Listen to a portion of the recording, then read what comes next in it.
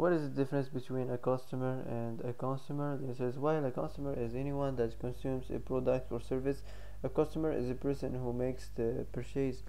So that's for today. I hope this is the answer you've been looking for. If you like this video don't forget to like and subscribe and see you in the next video.